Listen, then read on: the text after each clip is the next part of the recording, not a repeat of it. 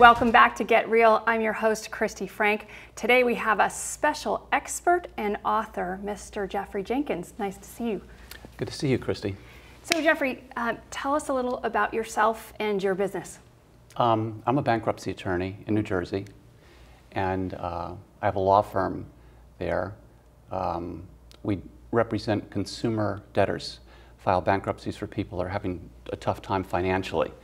And uh, a little bit about me. First of all, I, uh, I went to West Point. I graduated, uh, served our country for eight and a half years as an infantry officer, and uh, went to jump school, ranger school, French commando school. Pretty extreme, look at yeah. you.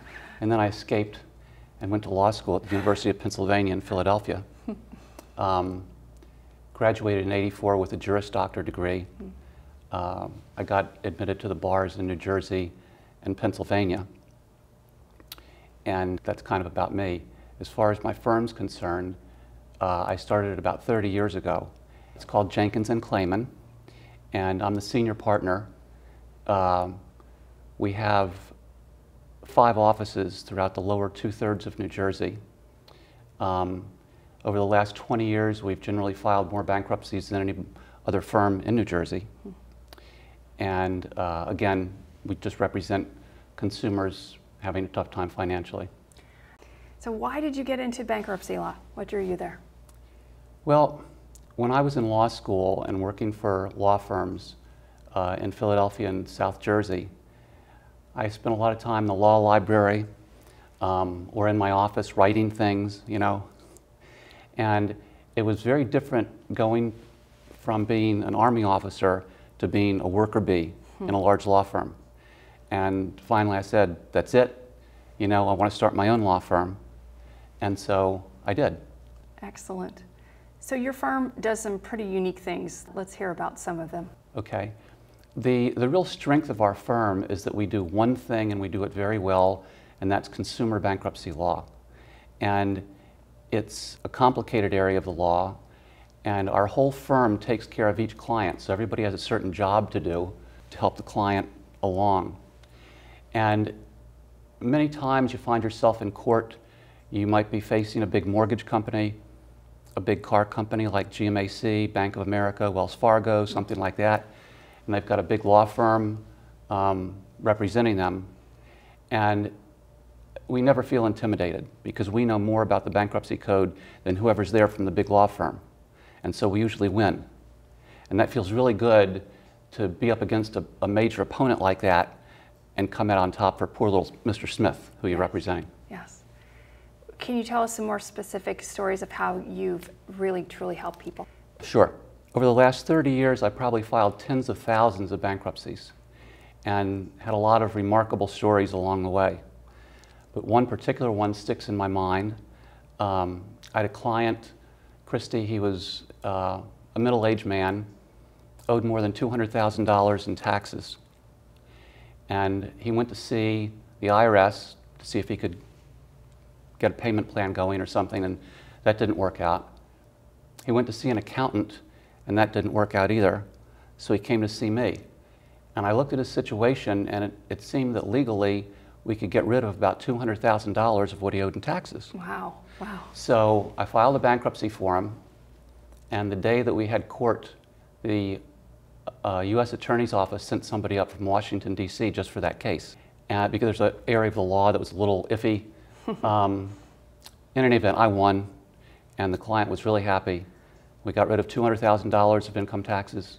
He had to pay 12000 back without interest, without penalties, through the Chapter 13 trustee. And uh, so it was a great result. And I remember it also because one of my daughters was in court with me that day.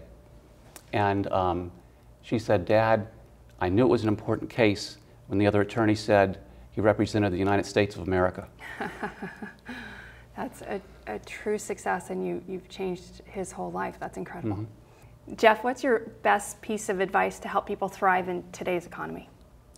Well, Christy, today we live in uncertain times, times that are changing, and it seems that every year things change faster and faster.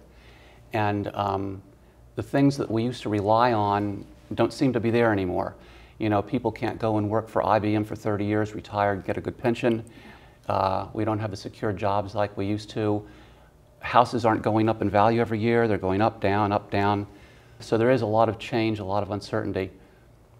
And my answer would be a financial one because that's generally what I deal with with my clients.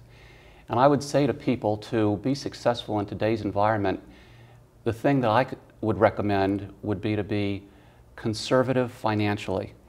So if you're having a good year, that, that's not the time to go out and spend every last dime you have on that truck that you want. That's the time to take some money and put it away for the bad years. And if you look at uh, some of the major companies that have done well in this country lately, they've all followed that exact same example. You know, whether it's um, uh, Southwest Airlines or Microsoft or Intel or Progressive Insurance, they've squirreled money away in the good times and used it in the bad times, and they've restricted their growth in good years. Even though they could have grown exponentially, they wouldn't do it because they were concerned what would happen the following year if things didn't go well. And I would give people that same advice. That's excellent. So, Jeffrey, tell us how people can get a hold of you and find out more about working with you. Okay. I think we have information on the screen about my website and my phone number.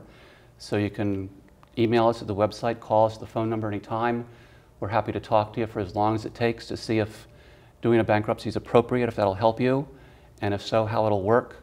Um, I've written a book that we have right here Excellent. very recently, and I did that for potential clients and prospective new clients just to talk generally in simple terms about bankruptcy and let them kind of get an idea of what it's about.